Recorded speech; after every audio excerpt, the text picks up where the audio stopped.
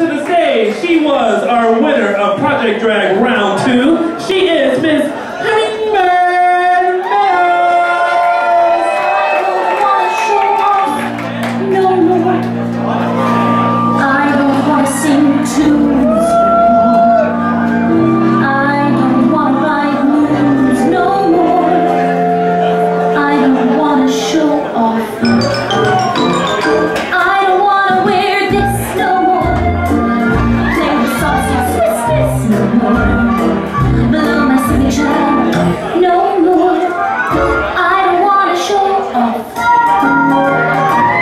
try to control